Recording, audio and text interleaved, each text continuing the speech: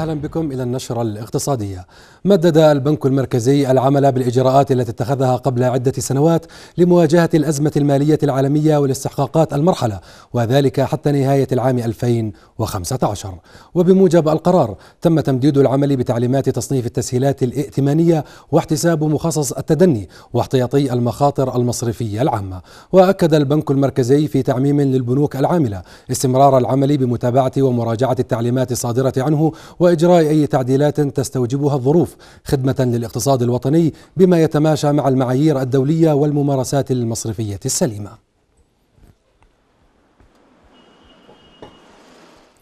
حققت بورصة عمان خلال عام 2014 أداء جيدا رغم الظروف السياسية المحيطة بالمملكة وفي المنطقة العربية واستمرار التوتر السياسي في بعض دول المنطقة وتأثيرها على الوضع الاقتصادي للمملكة. إذ ارتفع الرقم القياسي لأسعار الأسهم المرجح بالأسهم الحرة بنسبة 4.82% ليسجل كما تشير البيانات وكما نلاحظ في عام 2014 2166 نقطة وفي عام 2013 كان 2066 نقطة. ورغم هذا الارتفاع سجلت مؤشرات التداول الأخرى انخفاضا حيث تراجع حجم التداول كما تشير البيانات. حجم التداول كان في 2014 2 مليار و300 مليون وفي 2013 3 مليار دينار. عدد الأسهم المتداولة في 2014 2 مليار و300 مليون سهم وفي 2013 2 مليار و700 مليون سهم. وعدد العقود في 2014 9056 عقد وفي عام 2013 1074 عقد.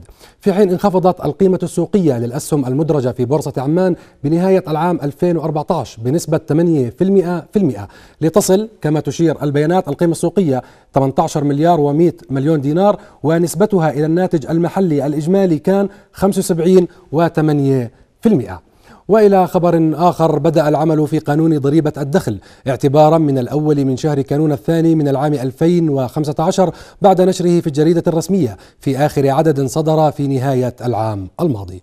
وبموجب القانون الجديد تم الإبقاء على الإعفاءات للشخص الطبيعي والمعالين بواقع 12 ألفا للمكلف و12 ألفا على المعالين مهما كان عددهم. في حين يمنح إعفاء بحد أقصى 24 ألف مقابل نفقات العلاج والتعليم والإيجار وفوائد قروض الإسكان. السكن والمرابحة على السكن والخدمات الفنية والهندسية والقانونية شريطة تقديم فواتير ومستندات.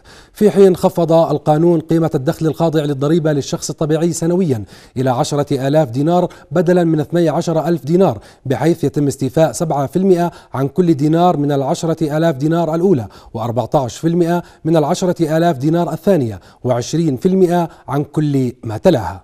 في حين أصبحت الضريبة على البنوك 35% ولقطاع الصناعة 14% و24% لشركات الاتصالات وتوزيع وتوليد الكهرباء التعدين التأمين وشركات إعادة التأمين الوساطة المالية الشركات المالية الأشخاص الذين يمارسون أنشطة التأجير التمويلي وما عدا ذلك يفرض 20% أعلنت هيئة تنظيم قطاع الطاقة والمعادن استكمال ترخيص جميع مشاريع توليد الطاقة الكهربائية بواسطة الخلايا الشمسية بتوقيعها اليوم الرخصة الأخيرة في قائمة الطلبات المقدمة للهيئة وعددها 13 طلبا. إذ وقعت اليوم رخصة لشركة صقر إمعان باستطاعة 21 ميجاوات بحجم استثمار إجمالي يبلغ نحو 50 مليون دولار. وأكد رئيس مجلس مفوضي الهيئة المهندس فاروق الحياري في تصريح صحفي إن الهيئة ستستمر بالعمل على تحفيز الاستثمارات وتشجيع الإقبال على استخدام الطاقة المتجددة في المملكة على مستوى المؤسسات والأفراد. وأشار إلى أهمية هذه المشاريع للمساهمة في مواجهة النمو في الطلب على الطاقة الكهربائية بما يحافظ على أمن التزود بالطاقة في المملكة التي تشهد طفرات في الأحمال. وأخيرا ما زالت أسعار النفط تواجه مزيدا من الضغوط بفعل علامات على استمرار زيادة إنتاج بعض من كبار منتجي النفط في العالم. وهبط سعر نفط برنت 1.59% في آخر جلسة تداول ليصل إلى 56 دولارا و42 سنت للبرميل. وتراجعت أسعار النفط الأمريكي إلى أدنى مستوياتها منذ العام 2009 ليبلغ 52 دولار و69 سنت للبرميل.